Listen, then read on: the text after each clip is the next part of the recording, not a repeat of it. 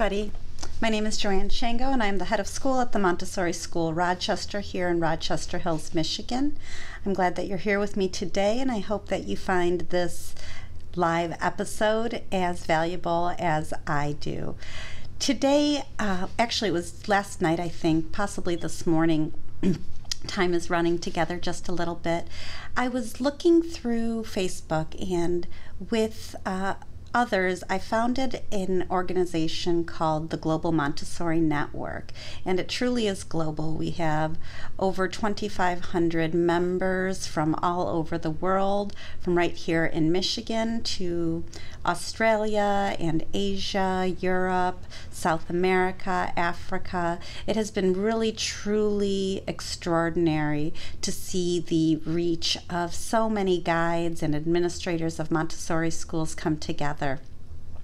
And as much as we've shared with our distance learning platform with so many of these amazing guides, we have also learned so much and have grown in the short time we've had to adapt and implement a distance learning program to stay connected with our students. It has truly been extraordinary, and the information collected, the bonds being formed, and the uh, connection with Montessori guides who are so different and fundamentally the same across the world is extraordinary. Well, this morning on the Global Montessori Network Facebook uh, group page, somebody had posted about children and connecting with them and guiding empathy or gu- guiding uh, social conscience and that ha- that got me thinking and i thought okay i'd like to maybe go somewhere with this. And she was looking for ideas. She wanted to connect with her children. Uh, montessori one of the goals in a montessori education is uh, offering opportunities for our children to grow and thrive so that as they grow up to their full potential, they can make an amazing impact uh, on our world to make it an even better place when they grow up. And so this question was really important and very relevant, I think, to Montessorians all around the world. I think to teachers, passionate teachers all around the world, regardless of what methodology they're teaching in. How do we uh, provide this opportunity for children to create and work within a social conscience right now while we're at home in this crisis? And so my brain was going. And then I started driving. I came up to our very empty school building so that I can meet with all of you. And as I was driving, I saw a mother on the road, uh, off the side of the road, and she was with her three children. And they were doing something in the woods, but it looked very purposeful and it looked very joyful. And that had me thinking even more. As I continued to drive, something extraordinary. I came across something extraordinary. There was construction on the road, and we haven't seen construction here in Michigan for the past two months, which in and of itself is an extraordinary thing. And believe it or not, I felt joyful seeing construction because I hadn't realized it was missed. And uh, just that little semblance of a return to some sort of normalcy uh, brought me just a little bit of joy. And I was actually smiling while I waited to get through the intersection. But what I actually saw that brought me the most joy in that moment was the construction workers, while keeping safe distance and going about their work, were all smiling. And I don't know that I've ever paid that close of attention when I drive by construction workers and they have their stop sign. As I progress through that stop sign, uh, when they tell me it's safe, I always smile and wave, and periodically I get a smile or a wave back. But I wouldn't say I've noticed in detail the how the workers are feeling while they're hard at work. Today I did. I was looking closely at their faces and they were all smiling.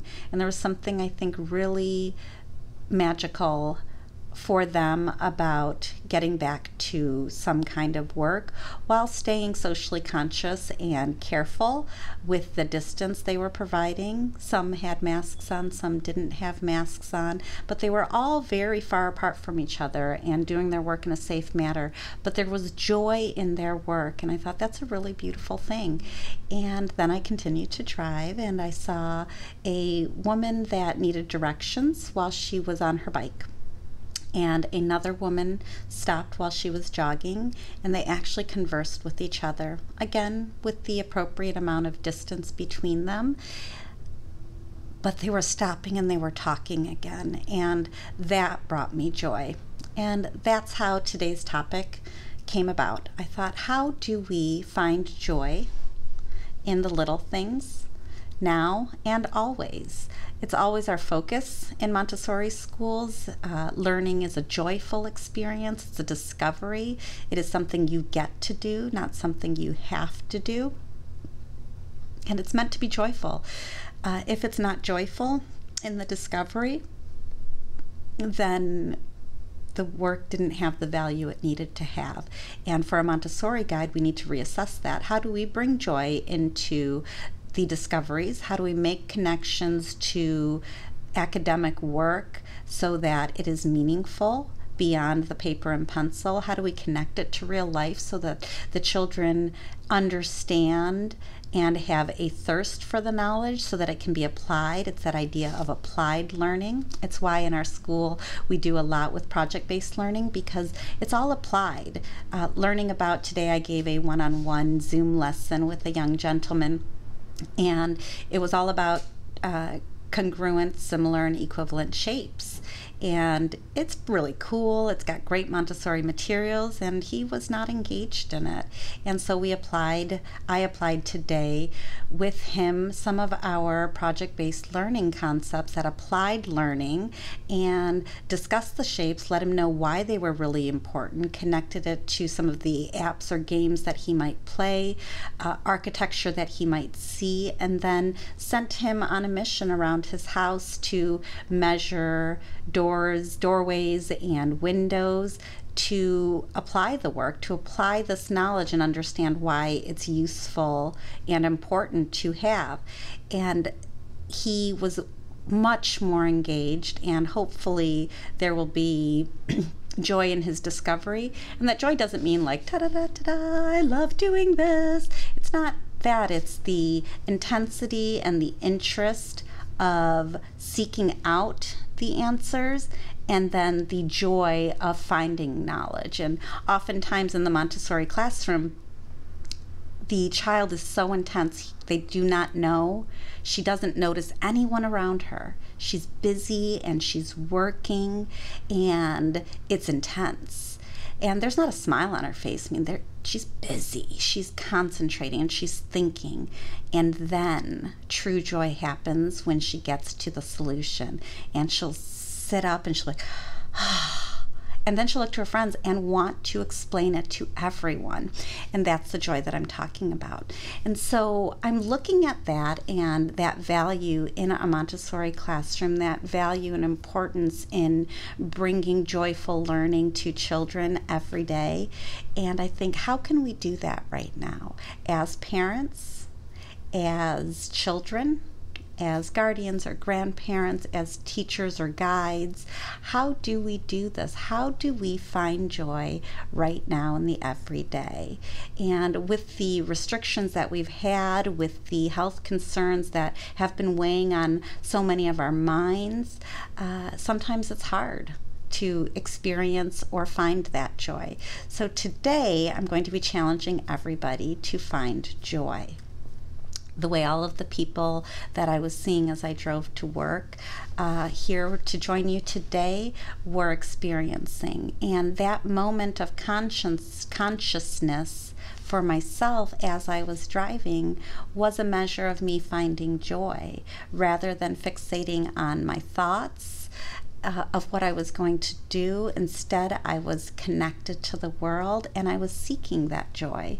And when you place that into your mindset of seeking joy, then you're more readily able to find joy because sometimes it's right there in front of you and we don't see it.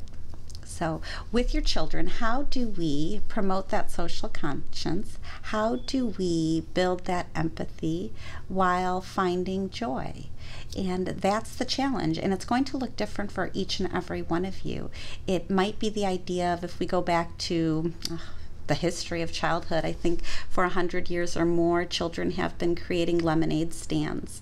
And when we think about the lemonade stands that children create, they are ultimately, the indirect aim is giving joy or at least a tasty lemonade to anybody that's walking by. But why are they actually building that lemonade stand? They wanted to. They wanted the experience of making the lemonade, of having the experience. They were working it out. The idea of building that small business, being creative in making the stand, being creative in squeezing the juice, uh, being mathematical in trying to figure out the cost and of the lemonade to sell, how much it cost us to build all of the uh, or to collect all of the ingredients for the lemonade stand, but all of it was actually selfishly motivated. And as parents, we coach to them their impact on the world because their job as young children all the way through adolescence is to figure out how does the world work and how do they work in the world? And that's what they're always doing. Our job as parents, as guardians, as adults, as teachers and guides is to guide them to that connection of others while they satisfy the need to explore for themselves. And so we're always coaching that. We're always coaching them within our children the awareness of their impact on other people, whether the impact is when they're screaming or if that impact is when they're joyful, if that impact is when they've baked. Uh, when they bake, they're baking for themselves. When somebody else eats their food, they are wanting for themselves to know, did you like what I made? Uh, because it's it's about them.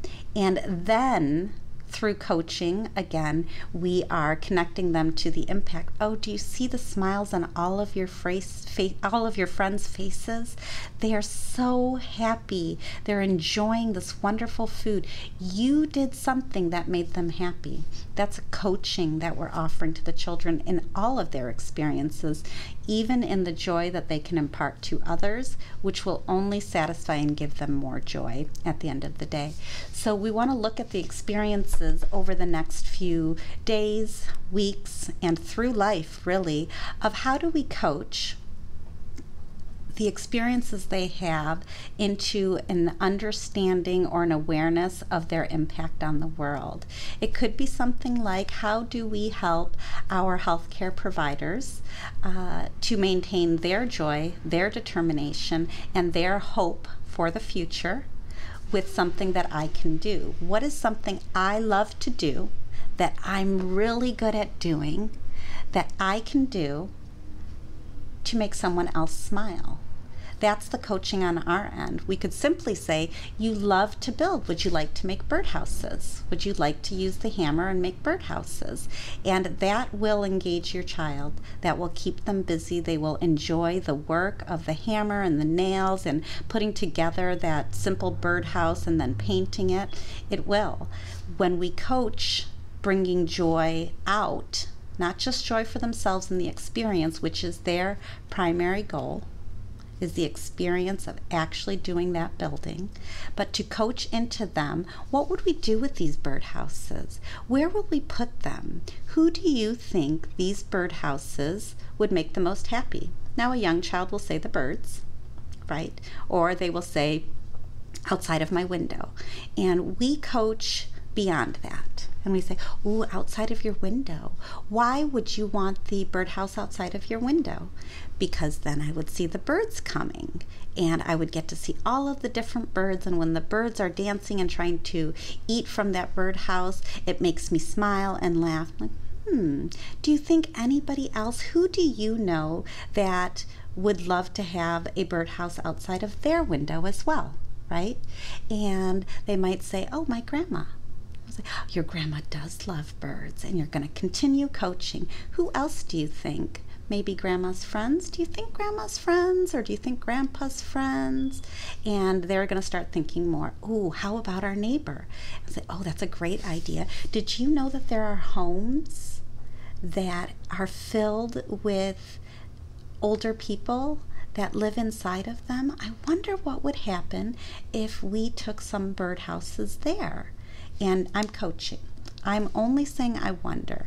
I'm not saying this is where we will take them because that becomes a decision that is about me and they're still fixated on their task and doing what mom would like them to do. But I am coaching them towards it. So I'm engaging them in an activity that, in and of itself, is going to give them joy. The work of and the challenge of building that birdhouse and painting that birdhouse working with me, having that one on one time with uh, their dad or their siblings, whoever it is in the home that they might be working on. And now I'm helping them think of how they would spread the joy. And then we might go and deliver them. So now they have been coached to come to an idea of remember that senior citizens home or that senior center uh, around the corner. Do you think that's a good idea? Shall we go and take a walk around it? Okay, let's go take a look and see. Oh, you do think it's a good idea. I think so too. I think you've come up with a great idea.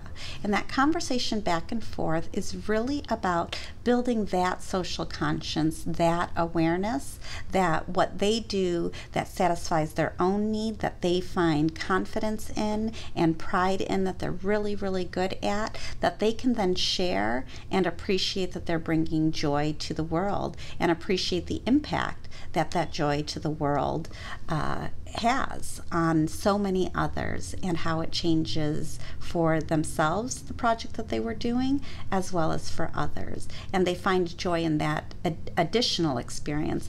And that's how we would build that social conscience for them this weekend you i don't know how it is where you are. In michigan we have a beautiful day. It is sunshiny. It is mild. It's not too cold. It's not hot. It's just really perfect weather. It's the weather that makes me think i love spring even though yesterday it was raining.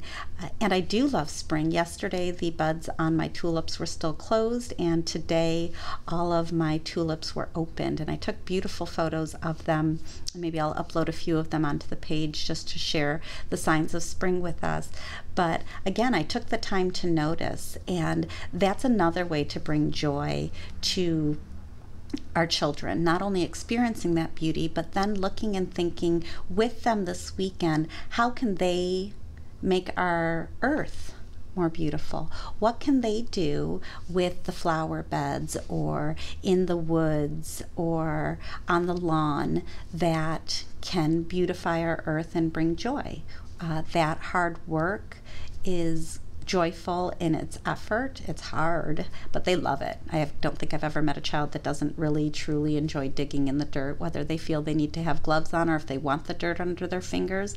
When they find a comfortable way to be able to work in that dirt, they absolutely love it. Every child wants to do that. So, giving them presentations on that kind of the earth's work and feeling joyful in cleaning a garden bed and then planting could be a great experience for joy in beautifying the earth. But again, when you think of how do we build that social conscience for them, we can look around, we can go for a walk, and we're bringing joy just in our connection, having that one on one time with our children.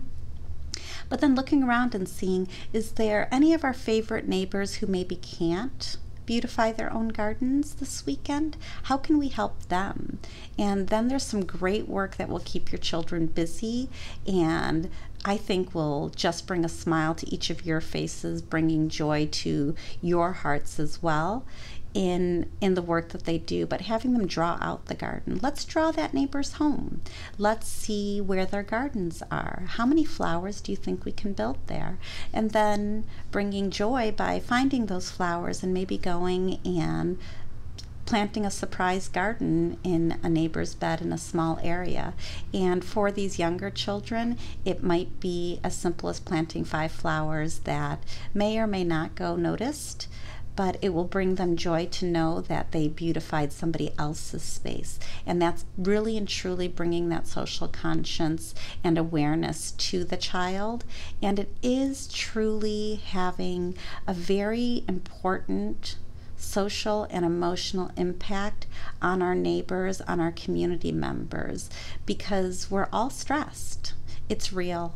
We are all stressed. We are stressed about different things. There are some that are stressed about the virus, and some that are stressed about their work situation, and some that are stressed about their children's feelings or their children's academic progress. There's so many worries right now that are going on and we all need to experience those joys and to be able to make an impact on our everyday neighbor is very important in helping all of us get through this and it gives so much beautiful work for the young child and also for the adolescent.